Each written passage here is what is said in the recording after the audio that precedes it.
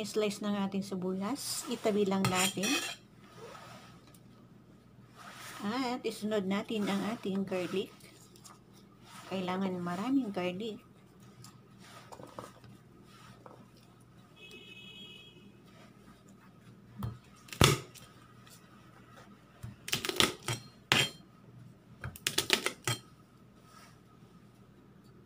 So, ayan. Hiwain lang natin ang ating garlic ng uh, maliliit.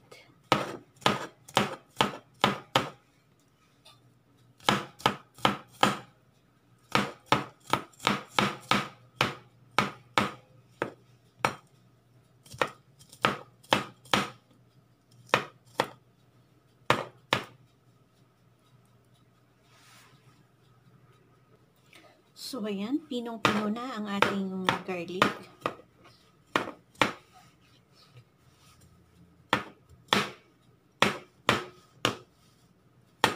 At ilalagay lang natin dito sa platito.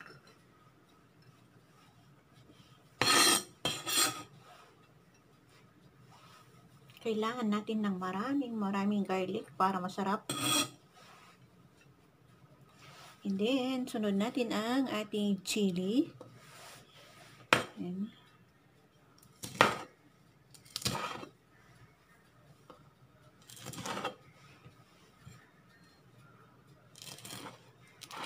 So, ayan ang ating mga sangkap at tayo magluluto na.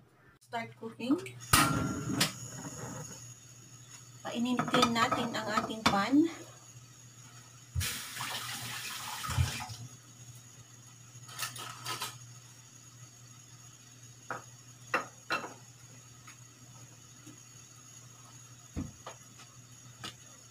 maglalagay lang tayo ng oil.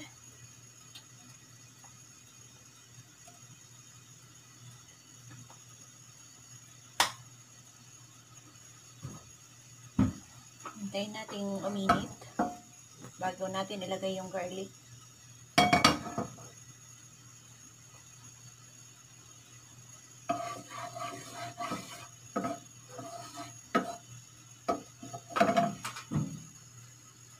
So, ayan, mainit na ang ating pan at ilalagay na natin yung ating garlic.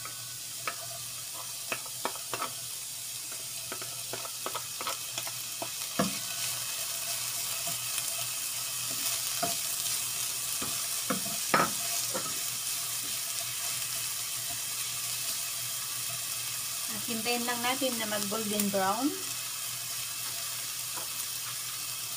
Ayan. Brown na siya. Hanguin lang natin yung iba. At uh, ilalagay natin sa top mamaya. Ayan. And then, sunod naman natin ang ating uh, chili.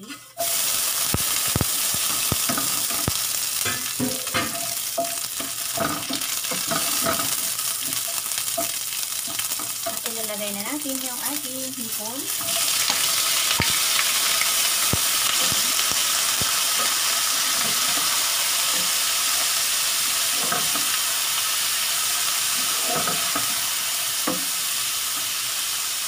Lulutuin natin ng mga tatlong minuto.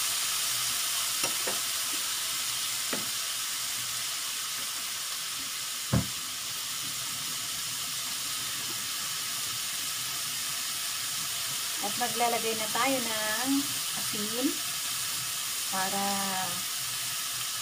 asin, pantimpla or kaya patis kung anong meron kayong pantimpla.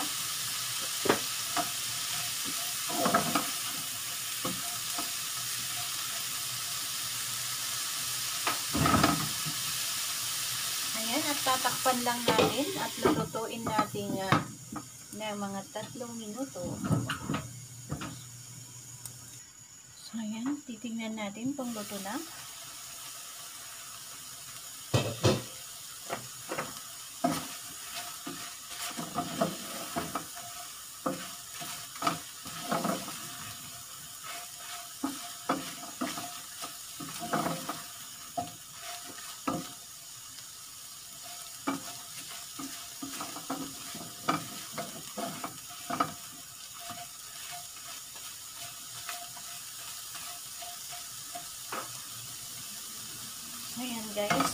Siya.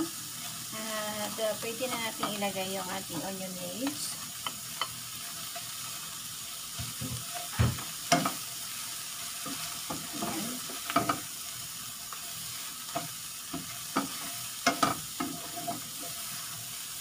Yan na. Pwede nang hanguin ang ating uh, garlic hipon.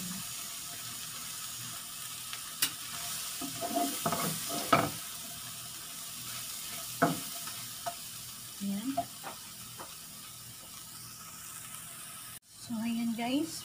Pwede na at ilalagay na natin dito sa ulati plato. Ayan. At i-ready na ang kanin at tayo kakain na.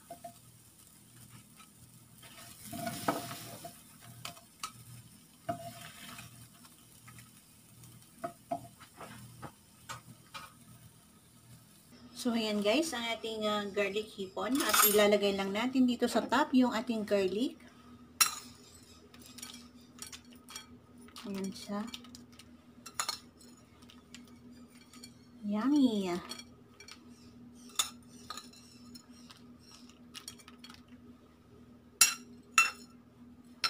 Ayan siya guys.